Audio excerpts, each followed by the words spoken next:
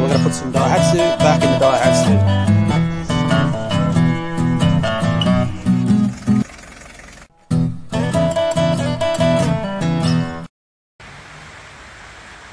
Well, ain't it a wet ass day?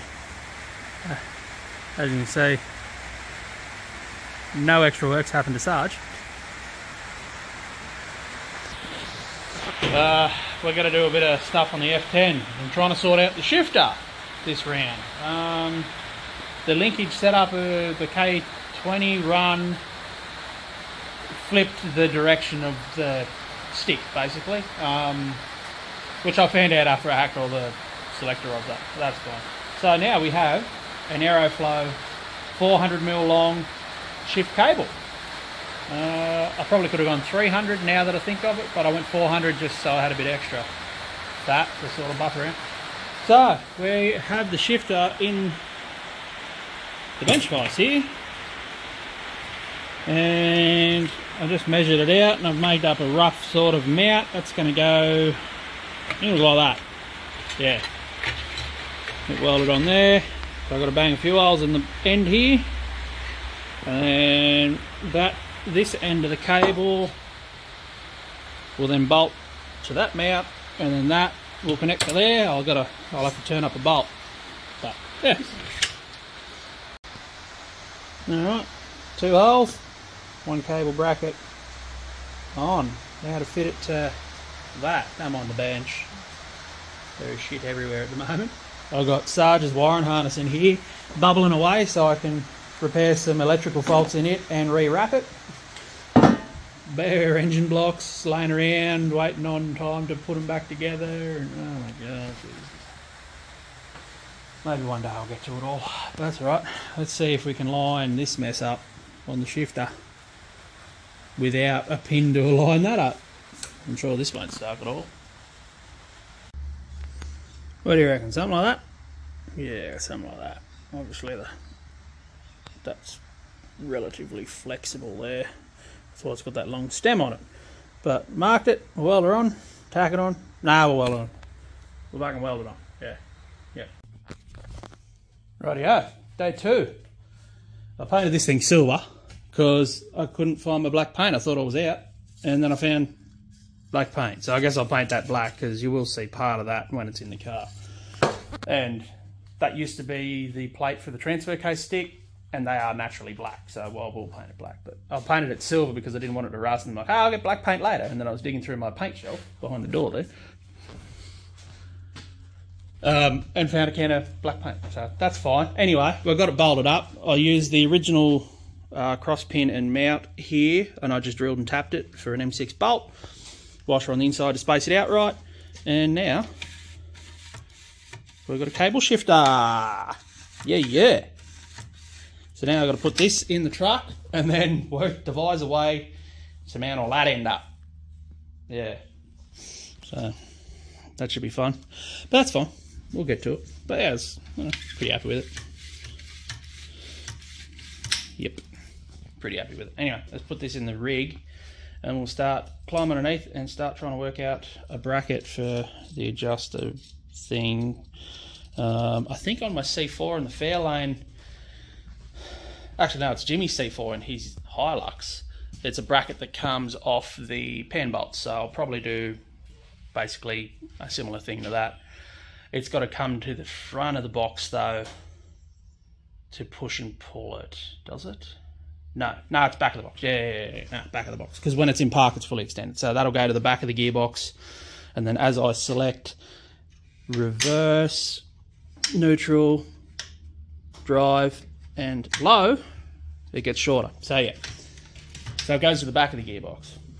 Right, I've got to remember that, otherwise I'll fuck it up again. Anyway, let's climb underneath this truck, see what we can do. Righto. So I've been under the car, done some measuring, and uh, we're figuring out a mount for the other end of the cable. So there's me fucking rowdy ass drawing. You don't need to understand it, only I need to. And there's a bit of scrap. And marked it out, and we're gonna start cutting it. I know it looks like I know it looks like shit, but give it a minute. Trust the process, mate. It'll be right. It'll probably still look like shit at the end of it, but I don't care as long as it shifts gears. It's under the car. Who gives a fuck? But we'll hack this some bitch up and we'll show you what she looks like in a minute. There we have it. So that's going to bolt to the side of the T-case like that. I've got a 10 degree angle up on the nose because of the cables sort of going a wee bit uphill to the gearbox. It's going to be roll around a bit like that. Um, but yeah, I just plug welded it, welded it both sides, buffed that radius off. So yeah, we'll go test fit it. See if it works. Hopefully it does. Um, but if it doesn't, they haven't stopped making steel, so I'll just make a fucking another one.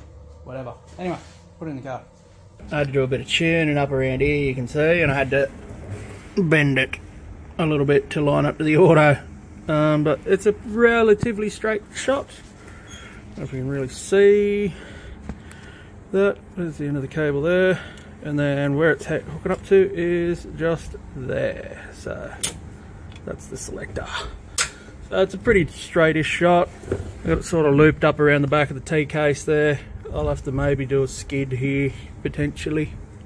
Um, we'll go up and try it out. It's pretty tight. Maybe it might make it a bit hard shifting. I might have to, I don't know, do something else. Maybe come up around here potentially.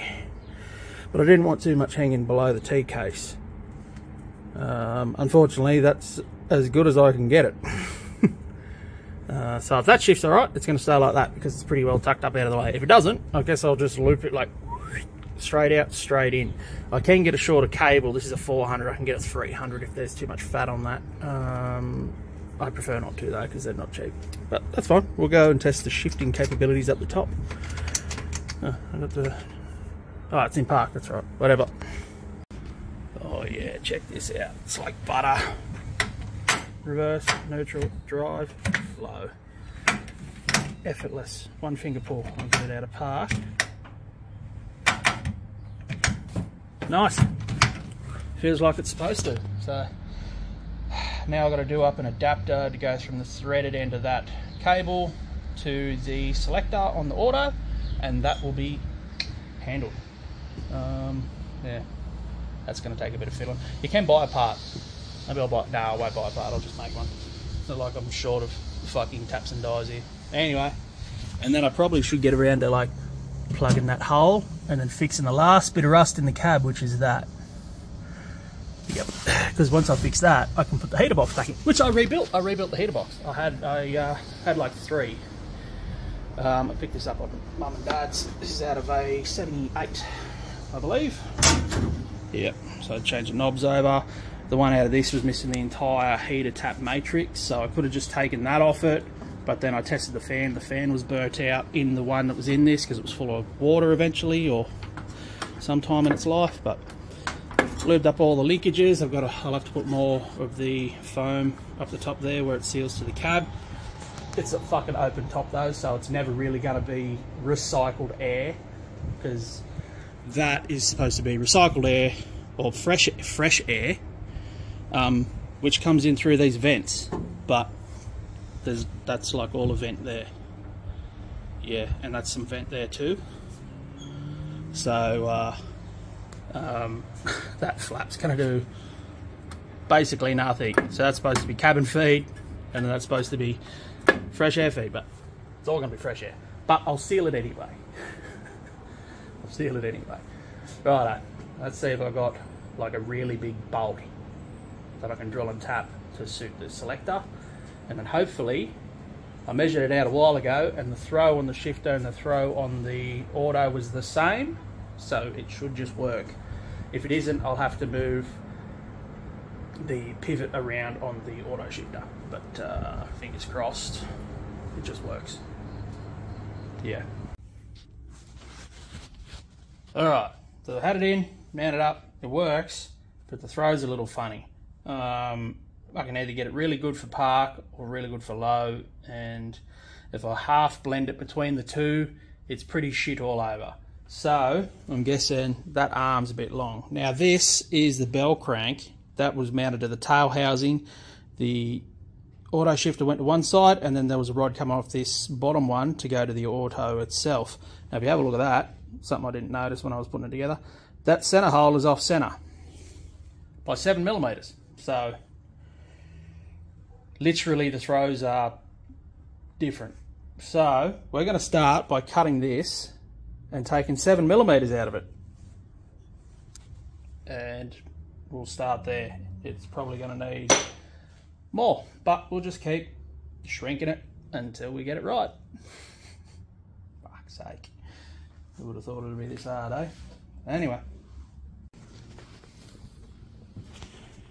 Okay, there it is shortened up and it works. Sweet, seven mil, pretty much bang on the money. Um, I could have maybe gone a bit shorter, maybe maybe I could have taken 10, but it feels pretty good. Gets low, gets parked. So I'm just modifying the rooster comb now. Uh, we've got park there, reverse, and then neutral drives this channel here, and then all the way back here on this step was low. So there wasn't a notch for neutral, and there wasn't a notch for low. So because this is going to be doing a fair bit of off-road work, I want it to like stay in low. At the moment, you bump the stick and it just goes straight into drive or neutral. So um, made a notch for for low or first, just there. And then if I break something, I want to be able to lock it into neutral. So I just made a notch for neutral as well, because it drive's here. So like if I'm in neutral, in theory, and I've broken something pretty catastrophic and I want to leave it in neutral, I could potentially bump it into drive. So that's why the notches are there. So I'll clean that up a little bit and then I'll put the shifter back together. And that should be the shifter and everything done. Um, so, in theory, I wanted to get real rowdy, I could fucking drive it around. But, but, we'll see.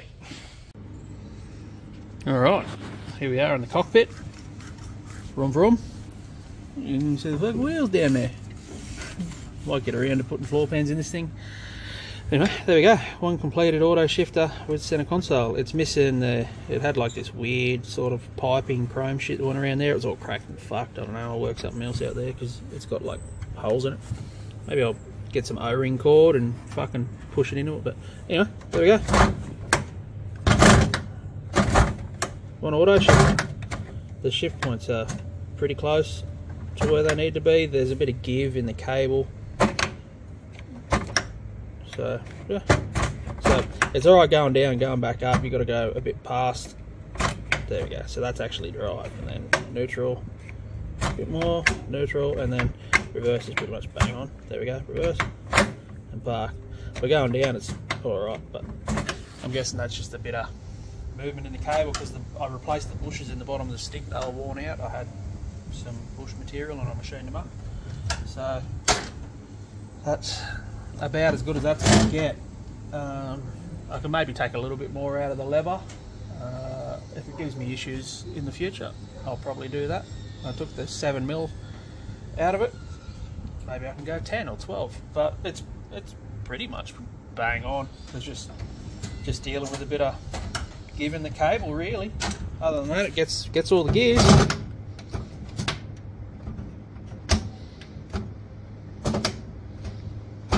So now we've got a lockout in low, so it stays in low. Go back down into reverse, neutral, stays in neutral, and then drive's always had its own plate, so drive always pulls into a plate. But before, if it was in low and you bumped it, it'd pull back up into drive. And then same with neutral, if I'm broken and I want it'd like you could pull it down into drive for neutral. So now there's a positive lockout in neutral, positive lockout in low yeah, looks good. Looks factory. It works. Nice. Alright, that's patch repair done. And that's the auto shift done. I just welded transfer case plate and then the actual original gear stick plate to it. So that's what's going to hold the whole thing down. It's going to have like eight bolts in it. So, yeah, finally. I'll put the cable back in this and uh, put it in for the last time. Actually, I'll have to come out to paint it, but last time. There we have it.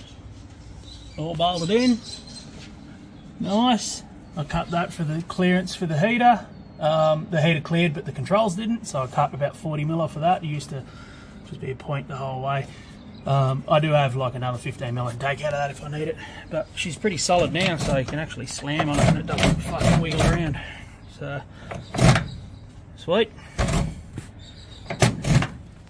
Yeah. Righto then, we'll probably call it here. one whole episode just on doing an auto shifter, but it's fairly important, so just got to take time with these things. Anywho, catch us on the next one. Keep your upside down. Stay out of yourselves.